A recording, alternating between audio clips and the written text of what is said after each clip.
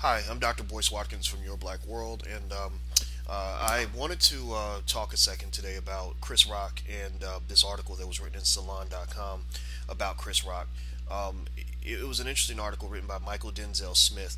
Um, I, I, only, I, only, know Mychal Denzel Smith from uh, the fact that he uh, he was one of the co-signers on an open letter uh, that was was pretty nasty toward me about an article that I wrote on behalf of black males basically discussing uh, false allegations against black men and uh, why sexual promiscuity amongst black men is just not a good idea. Um, I remember that the, the, dispute involved the fact that uh, they that there were liberals who felt that my mere mentioning false accusations uh, against black men was somehow blaming the victim or ignoring uh, uh, sexual assault problems and and I and I had to stand my ground on that article because uh, I said, look, I, am not condoning sexual assault on any level. I have daughters. I, I wouldn't want any of them to be raped. And also, um, I mentioned very clearly in my article that I'm not talking to men who would ever have sex with a woman against her will. So I basically had to say, you know, you guys can can get out of here with that because you're you're wrong. And just the mere idea that we have a group of black males that are working so adamantly uh, against the idea of advocating for black males really is a symptom of the um, the intellectual imperialism that consistently occurs, particularly in academic spaces, where you have African American males uh, with some degree of prominence, some degree of power, uh, who are indoctrinated into a purely liberal ideology to the point where they even are are afraid to truly advocate uh, for other black men, particularly if it's at the expense of white women or gays or, or etc. Um, and I don't. It's not that I don't believe in equal rights for everybody, but I believe in equal rights for everybody. And what I mean by that is that uh, I believe that women deserve to be protected. I believe the gay community deserves to be protected, but I also believe that black men deserve to be protected. And and what's unfortunate though is that black men, to some extent, are a very scattered group. Uh, we are probably the most abused group in society. We're the most likely to be incarcerated, most likely to be murdered in the street, most likely to be unemployed. We're marginalized in every single way um, as, as a collective. And so what what tends to happen is people will throw black men under the bus in order to promote their own agenda, and that's why I pretty much had to tell the guys to go to hell on that letter. N- not to say that I couldn't be friends with them later. I said, look, if you guys want uh, to uh, collaborate and me, for me to support you as as brothers on other issues, let me know. But I'm not going to stand with you on this because I believe it's bullshit. Uh, because what was also interesting was that the uh, their their critique of my article didn't include any quotes, any excerpts, any links, or anything to really prove the point. They just sort of said, well you you were irresponsible and callous in your analysis. And and I'm like okay if I'm callous please tell me how. Tell me how explain it. Like give me give me some examples. Show me where I was callous. And I said you know unfortunately the reason that you can't find evidence that I behaved in this way in this article is because there is no evidence. Uh, this was this article was was thought through very carefully, and I'm not going back down when it comes to standing up and supporting black males as a collective body. Um, and but supporting them uh, is, is more complex than what many people in the liberal or conservative establishments will have you believe. Uh, and so, if you want to, you know, understand it a little better, uh, you can go to my article. The um, the article's on brothersonsports.com, and the article is basically called um, something like. Um, uh, a, a, letter to young brothers uh, how sleeping with the wrong woman can turn you into a rapist. And i put the word rapist in quotes because for many black men just the mere allegation of being a rapist even if you didn't do it the allegation alone will destroy you. Because as a black man you don't have access to a fair justice system. You don't have access to the money to defend necessary to defend yourself in court. That jury is not going to look at your big black butt and believe that you're an innocent man. So what i believe is that to protect black men we have to protect them uh, in a preemptive uh, uh, preemptive way as opposed to um, an ex post kind of way. And you know, looking back and saying this person was falsely accused, that's fine, but it doesn't help him if he's been in prison five, six years and you're doing the DNA test to go back in time and find out if he did it. I tell brothers be careful from the jump because there are women out here that will falsely accuse you of rape, and I'm not backing away from that. Uh, now, uh, that's why I had an interaction with Mychal Denzel Smith. I didn't want to go into uh, that in too much detail, but it sounds like I just did. So forgive me. Uh, thank you for bearing with me on that. Um, the the other thought that I wanted to, to sort of throw out here was uh, Mychal wrote an, an, article for Salon.com, uh, which is a very liberal kind of uh, outlet. Um, and it basically it's interesting because it, it, I almost feel like he's throwing Chris Rock under the bus. He's sort of lumping Chris Rock together with Charles Barkley and Don Lemon, um, and even Bill Cosby.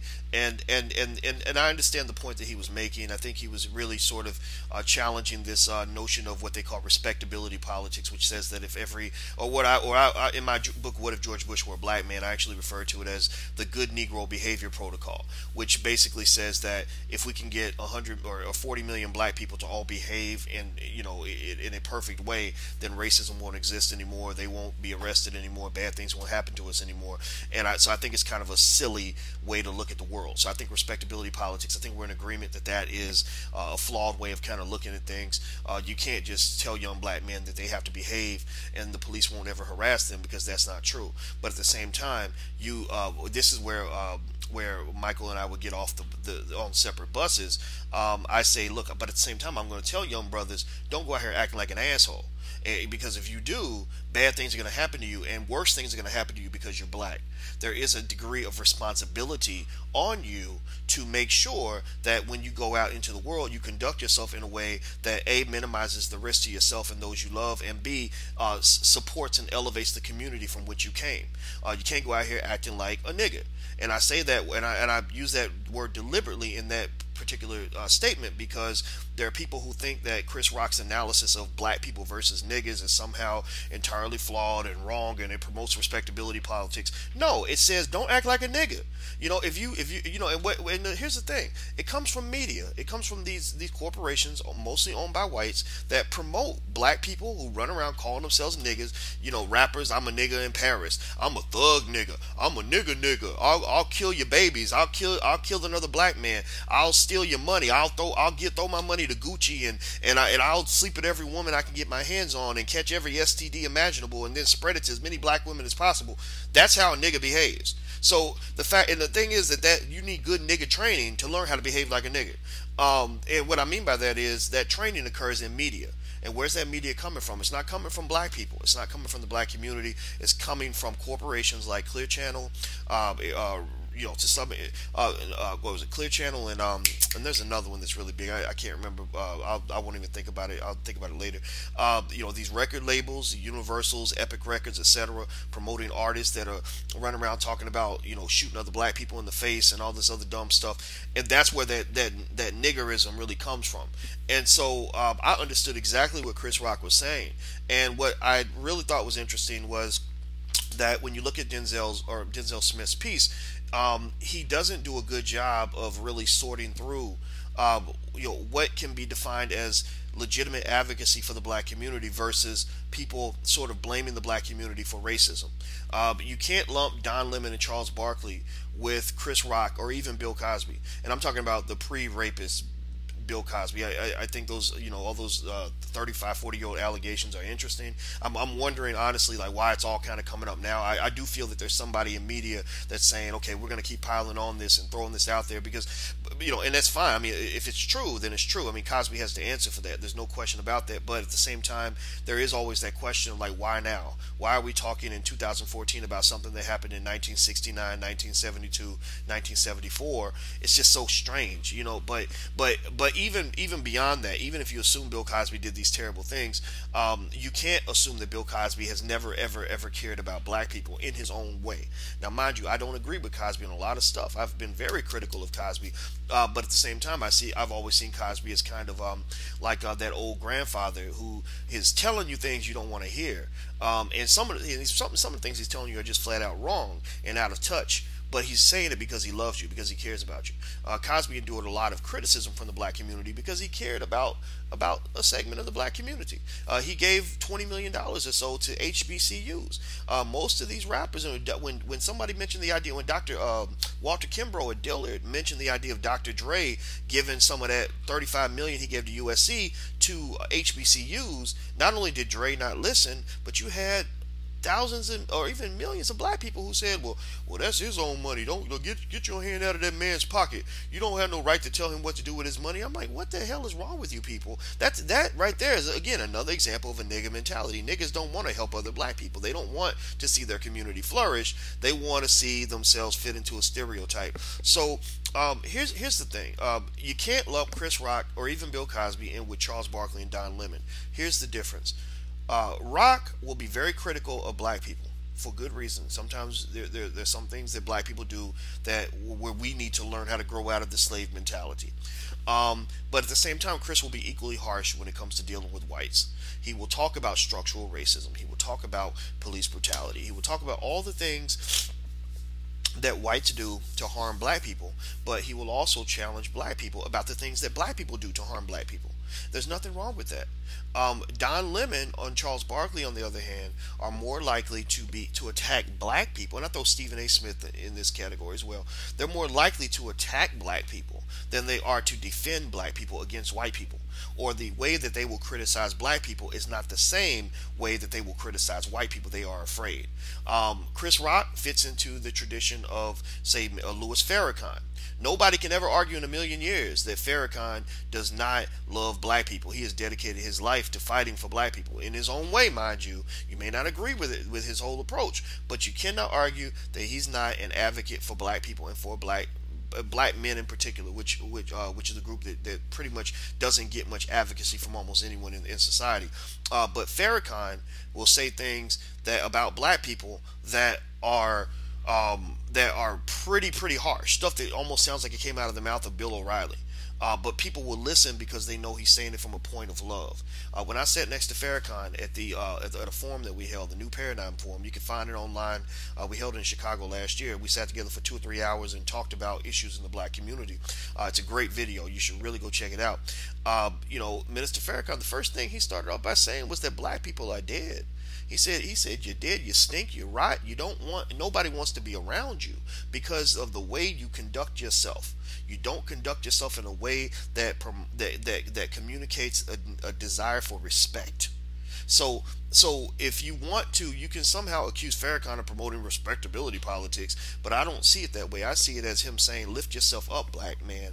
Have pride in who you are. Stand up for your family. Stand up for your community. Fight these battles. Stop sitting around waiting for white people to suddenly decide they're going to stop being racist. That's not going to happen in your lifetime. And here's why, and this is why I'm not a liberal. Uh, I'm not a conservative. I'm not a liberal. I'm not a Democrat. I'm not a Republican. I don't believe in any of that crap because they're always trying to recruit you. They're always trying to control your mind. The Democrats hold up their, their little sign Republicans hate black people. So we all run to the polls to support the Democrats, and then the Democrats don't support us when it's time to really have our back. When it's time to really talk about the issues that matter to us, they they always have something else to do. But when it's time to vote, watch watch the, watch how they recruit you. Every time it's time to vote, they're going to come out and tell you how horrible the Republicans are going to be, and that and then that that makes some of us feel that that we somehow owe them something, which which is I I, I completely disagree with that that. Um, two things that liberals don't do that um, that I that that bother me that which which define like part of the reason why I'm not a liberal. Number one, liberals don't really believe in the idea of black self-reliance. Um, the things that Malcolm X talked about in terms of black people sticking together, black people building our own businesses, black people developing our communities, black people developing our own ways of thinking, black people educating their own children, etc. Liberals don't really support that kind of thing, and, not, and really they shouldn't. I mean, how can you depend on somebody to teach you self-reliance? That's that's contradictory. You're dependent upon getting self-reliance. I'm going to depend on you to teach me how to depend on myself maybe that kind of works, but it doesn't really work when you're talking about dealing with patronizing white folks. Um, uh, the second thing that liberals uh, don't really buy into is the idea of black personal responsibility. They somehow think that um, that everything you do is perfect all the time. Everything, anytime any black person does anything wrong, there is there must be a reason that a white man caused it to happen. Um, when sometimes the reason that you do something stupid or ignorant is because you chose to be stupid and ignorant. And there's nothing wrong with saying that. That's common sense. And that's why I don't really uh, like the idea of getting engaged in these stupid ongoing political battles between the conservatives and the liberals is because they get ridiculous. They get dumb. They get to the point where Democrats are afraid of the idea of personal responsibility. Conservatives are, are seem to be afraid of the idea of of any sort of um, structural compassion for those who are struggling, for the poor, or for minorities, and, and for women's groups, etc. Um, and so I would just say uh, that you know I think that Mychal Denzel Smith's piece is fine. I mean, for the most part, is his opinion, but understand this um, there are certain uh, elements in the liberal establishment that have lots of money, lots of power, big platforms. And what they tend to do is they tend to elevate and promote African Americans who uh, espouse an ideology that, that is consistent with their own. If you go read publications like Salon.com, and, and there are a few others out there, um, you'll, you'll notice that typically the black people that they put on, eh, you know, on their platform tend to be people that are uh, that are that are more liberal than anything else. They're more liberal than black. They're more um, they're, they might be fit, more feminist than they are black. They're going to be more uh, gay, you know, gay rights uh, supportive than they are black. Um, it, now, blackness might sort of fit in there somewhere. Uh, but it's very consistent with kind of a liberal ideology, and it makes sense to a point. I mean, why would you pay somebody to say something other than what you want them to say? But that's the problem, and that's why black self-reliance is so important we to some extent are highly cons- consistently dependent upon having some white corporate sponsor to back us in our quest for uh, fame or respectability. So it's interesting. You can almost flip the respectability politics issue on its head, and you can not only point to black people who are saying that uh, that, that you have to behave a certain way to get white people to stop mistreating you. That's wrong. We know that. But also, black respectability politics may come into play when you talk about these Negroes trying to get opportunities at MSNBC and Salon.com. They believe that look, if I behave in a way that is respectable to white liberals, then I'm going to be rewarded for that. If I come in and tell them I'm a feminist or tell them that I believe more in gay rights than anything else, I'm going to be more likely to have an opportunity than I am if I am a more complex kind of black person. Like Dr. Umar Johnson, for example, will never be featured in Salon.com unless they're trying to destroy him. And anybody who knows anything about Dr. Umar Johnson knows that despite the fact that he has views that don't fit into the mainstream, he is consistently advocating for black people. He has a very strong and, and passionate love for black people, but you won't see him on CNN, you won't see him on MSNBC, you certainly won't see him on Fox News, again, unless they're trying to attack or destroy him. Um, you're, you're going to see him kind of in this space where he's dependent upon the black community to support him and have his back. So, um, I, you know, I, I, guess I'll just end this by saying that um, that I think that that we have to to to quit letting other people convince us that that that we should just lean on Democrats and liberals to save us. Um, that somehow advocating for personal responsibility is wrong that if you wait long enough for white people to stop mistreating you, that that's when your life will get better. Um, there is something to be said about the Malcolm X sort of philosophy, uh, which says depend on yourself, build your own community, tell these other people to go to hell for a while, deal with your own issues, manage the problems in your community. When you see somebody behaving like a nigga, you tell him that he's better than that. You don't have to fight that person out of hate, but you can fight them out of love. And, uh, and so anybody who walks around excusing behavior that is detrimental to the African American community is not a friend of the black community. They're usually, in many cases, it could be somebody that's trying to indoctrinate you into a liberal ideology. Why? So the, at the end of the day, you're gonna run up and line up and vote for the Democrats, so they can ignore you for another four years. And if you don't, if, if you think that this is something new, go back 50 years, read what Malcolm X said about the Democrats you'll you'll see that the message has been very consistent. If we want new results, we have to try a new strategy. If we keep trying the same shit, we're going to keep getting the same shit. So um, that's all I want to say. I'm Dr. Boyce Watkins from Your Black World. Please take care. God bless. I'm gone. Peace.